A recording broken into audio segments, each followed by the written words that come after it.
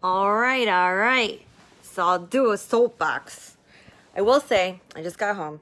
I'm super, super, super, super tired. Have my shoes on, actually. Yeah. Look at me. So yesterday, I was up until 4:45 in the morning. Hmm, working. And I just walked in the door. Look, I still have my jewelry on, okay? I still have my iWatch on. See? See? See? I still have my sneakers on. See? See? See? Yeah. So I don't want to hear about all you guys complaining about long hours because yeah, I have no sympathy for you.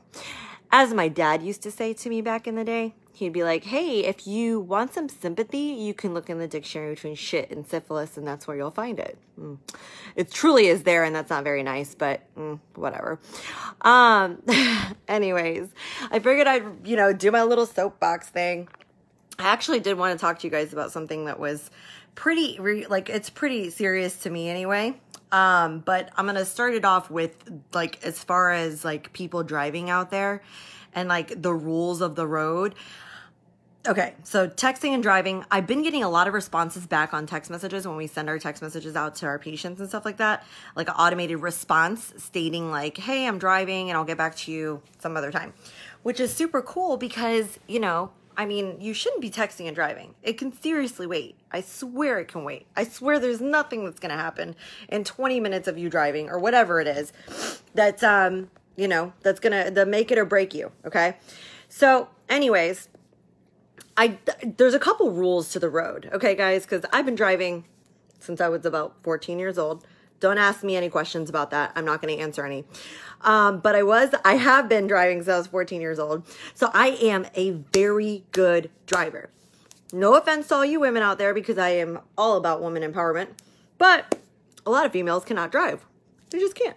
I don't know why. Just not a skill that, you know, is a certain set of skills that females have. But there are some females that can, but a lot cannot for some odd reason.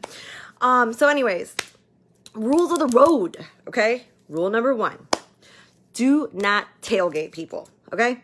Back in the day when I was stupid, I used to like brake check people until I realized that, oh shit, if they hit the back of my car, yeah, that's not gonna be good. And then I'm gonna have to worry about all these issues with the back of the car and all this other fun stuff. So don't ride people's asses. It's annoying, okay? Number one. Number two, okay? Rules. Yes, rules. I'm coming with the rules. Happy birthday, Rodney.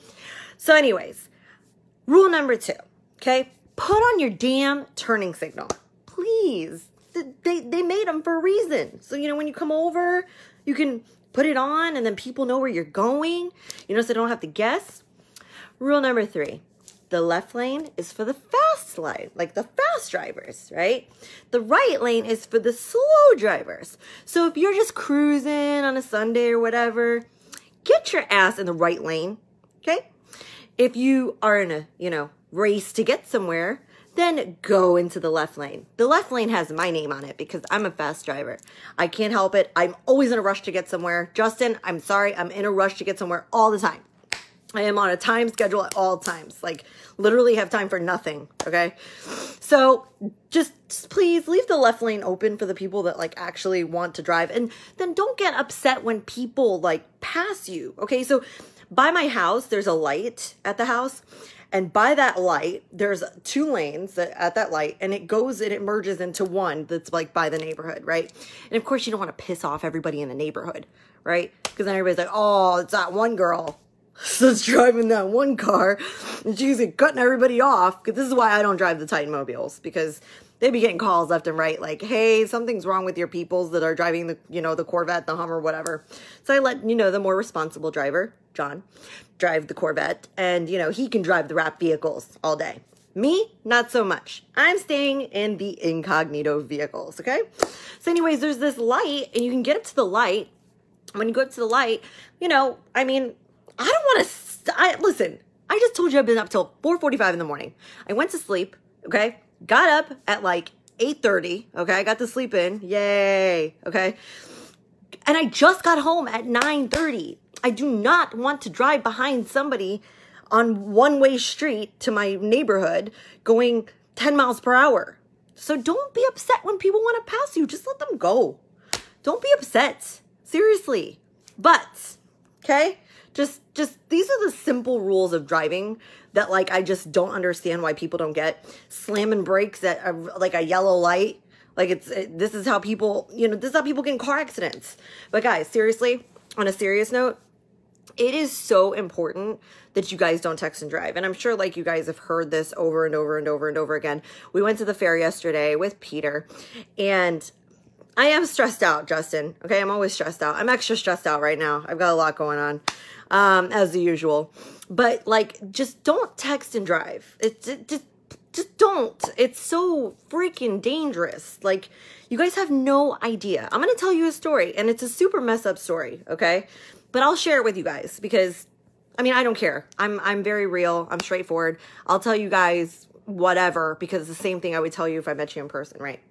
So, um, anyways, there we went to the fair. We have good some good friends of ours, um, and they put on this show at the fair. It's uh, you know, our good friends Kevin Ridgway and Kristen, and um, you know, it's super super cool that they put on these shows. Anyways, long story short, two years ago they were in this huge accident with the 17 year old girl that was driving on her phone totaled it out. I mean, Kevin was in ICU in a coma for like six to eight weeks, which is absolutely ridiculous. It's just insane. Um, but I mean, it's a big deal. And the reason it's a big deal to me specifically, I mean, my case wasn't that bad, but my story is super, super messed up. So, but it did. Okay. One door closes and another one opens. You know, when bad things happen, you don't really think that way, but you know, it's true. You know, my wonderful positive husband John, he tells me all this fun stuff and then I'm like, "Yeah, yeah, yeah, whatever. You're you're not yeah, yeah, yeah. You're just trying to make me feel good." But he's right. That's fine. I'll give it to him. So anyways, long story short, um before we opened Titan, okay? I was working for a doctor's office, a private doctor's office. Now, in that private doctor's office, there was a day I was to go to lunch, right? I had a Cadillac at the time, okay? And so I go, I get in my car, I pull out, and I'm in a parking lot, okay? A parking lot. Now this was this was seven years ago. I want to say it was about seven years ago. So, anyways, I'm in a parking lot on my lunch break. Lunch break's about 45 minutes to an hour. I, you know, hurry, hurry, hurry. I wasn't in a hurry, but there was a guy that was in a another car or whatever happened to be a doctor. Okay. He was in the rush to the hospital because he was on call. Um, so he decided that he was not only going to go 55 miles per hour in a parking lot, and I am so not even exaggerating when I tell you that. He literally was going like 50. Okay. So when I, this guy was such an idiot, by the way. So he's going 50 in the parking lot. Long story short, I pull out, I'm backing up you know? I'm about halfway out of my parking spot. He's going 50 miles per hour.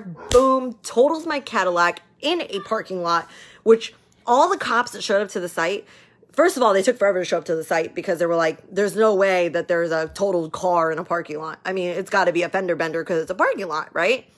No, that's not what happened. So, total my Cadillac. Half my car was on the other side of the parking lot, okay? And it was all because he was in a rush to the hospital. He was on call and he looked down at his, you know, beeper phone, whatever it was at the time. And he was going 50 miles per hour in a parking lot. And it was like, I've never been in a car accident before, this particular car accident of mine. And it was horrible, okay? Because I dislocated my shoulder, had a partial dislocation in my jaw my car was totaled. On top of everything else, that I had all these injuries. And you know, I'm a soldier, so I'm gonna soldier through it regardless. I mean, you really don't know what you have until you don't have it. Like you can't shave your legs, can't wash your hair, can't eat anything because you can't open your mouth all the way. I mean, it was horrible. I mean, we were thinking about putting some wires in my mouth, and it was just, it, it was really bad. Okay. Here's the shitty part about this whole story. And there's a good part and a shitty part. Shitty part. The doctor that was driving in that parking lot was friends with the doctors that I was working for. Okay. So, of course, that doctor wants these doctors to have my doctor clear me 110% to come back to work. Now, obviously, they were clearing me. He wanted to get that in writing somehow so that way he could use that in his case. But my doctor wouldn't clear me. It was because my arm was in a freaking sling and I couldn't open my mouth. so, I mean, I, I had a legitimate reason to not be cleared to go back to work for 100%. He's like, listen, you, you're not, you just can't go back to work. So, they wouldn't let me come back to work and in an email wrote me up like we're not going to allow you to come back to work until you're 110% cleared in writing da da da da. I'm like okay so what do i do now? I have no job technically. I have no job to pay my bills. I'm like this asshole totals my freaking cadillac. I'm like i'm you know I'm totally jacked. John has to shave my legs and wash my hair. Nobody wants to, someone to shave their legs and wash their hair. I mean, what the hell? Thank you, John, but damn, you don't want that. You feel like enabled. It's like the worst feeling in the world. So, anyways, um, I, I they wouldn't allow me to come back to work. So this guy, we come to find out that he had limited liability insurance, I guess. Can I help you? I'm not doing this right now. Peter's in the hallway with his pants down. Anyways, so um anyways, so yeah, he actually um had limited liability insurance. So nothing was covered. Um luckily, I had really, really good um, insurance at the time, health insurance anyway. So I was able to get some of this stuff covered at the hospital. And at the time, guys, me and John weren't like we didn't have money. I mean, seriously, we didn't have money. I mean, I won't go into details, but I mean, we didn't have the money like that, you know? So, like, I didn't have the money to pay these things. And I didn't have a job at the time because they wouldn't let me come back to work to come work for the money to pay for my shit. So, anyways, it was like devastating, okay? And I'm like, I can't go back to work. And I'm I am a workaholic. I like to work. I like to feel like I have done something for the day. Like I am accomplished. Like I have accomplished something awesome today. That I have to have that feeling at the end of every day, or I feel like I haven't done anything with myself. So, anyways, again, long story short, but this is how we started Titan, okay? So we did. So I was hanging out with John all the time, all day, every day, because I mean, what else am I gonna do, right?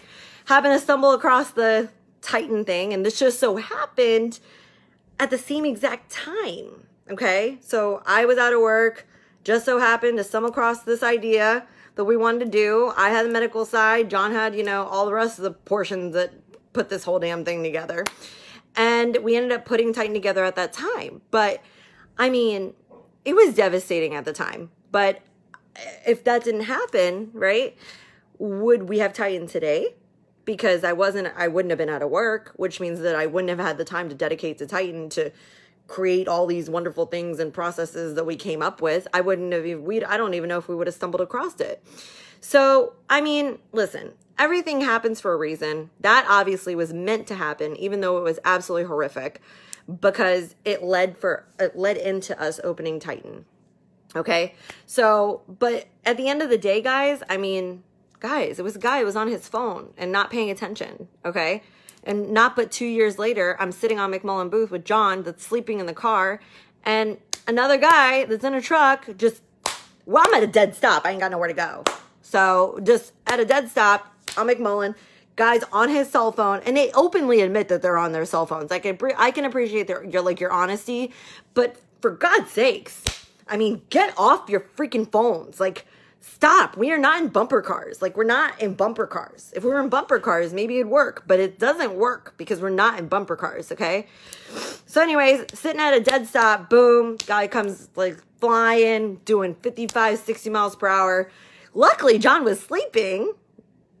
he thought it was my fault. I'm like, dude, I'm sitting here. I have not went anywhere, and there's nowhere for me to go. So tough shit. I don't know what to tell you. He was the lucky one though because he was sleeping and apparently, because I saw it coming in the rearview mirror, you know, obviously I saw a car come in and I'm like, okay, I need to brace myself so I don't slam my face into the windshield. And of course, if you brace yourself, apparently it's worse. So your whole body just braces it like this. John, poor John, that is a horrible way to wake up from a nap. so he's sleeping in the passenger seat and boom. and he's like, you know, just because he was sleeping, his whole body just kind of like flew with the, you know, with the impact, which sucked. So this guy ended up getting in his car. He's like, "Oh my god, are you guys okay? This is that blah blah." Another, you know, injury on top of injury on top of injury. So all I'm getting at, guys, is like, I get it. Like, it's a new day and age, and people are on their phones, and everybody thinks shit's important, and Facebook's so freaking important. You got to be on it all the damn time. Guys, it can literally wait. I promise it can wait. Like, I, we are, if we were in bumper cars, it'd be a different story, but we're not in bumper cars. And it is enraging to people like me, okay, that are driving on the road, and I am petrified for somebody that's on their phone to either A, hit my car, or B, do something where it actually results into an injury. Okay. But, um, yeah, because I mean, I, I do have road rage. So if somebody hit my car, it may not be a good thing that they hit my car because I don't know how I would react to that or what I would do because I kind of do one of the blackout moments and uh, I don't know what happened. Okay. So guys, just stay off your freaking phones. It's really not that important. I mean, and just follow the rules of the road. I told you the rules. Don't tailgate people. I finally learned how to put on my hazards for two seconds. I know you're not supposed to do that, but I do it so they'll back off. Um, but I put the hazards on and they back off real quick.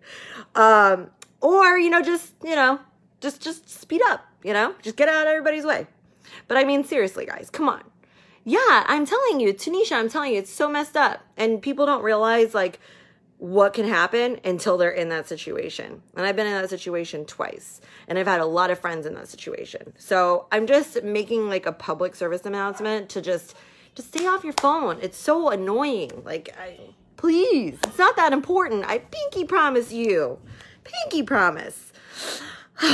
I'm too tired to actually be riled up about this right now, but if you guys caught me on a day where I wasn't like incredibly exhausted from being up for so many hours working and staring at a computer screen, I would definitely be a little bit more enraged just because of the fact that I've been through this shit and it's super, super irritating to have people on their phones and driving. And every time you look around to the person that was driving in the lane next to you that was like swerving in your lane and you turn and you look and you're like, damn, what are you doing?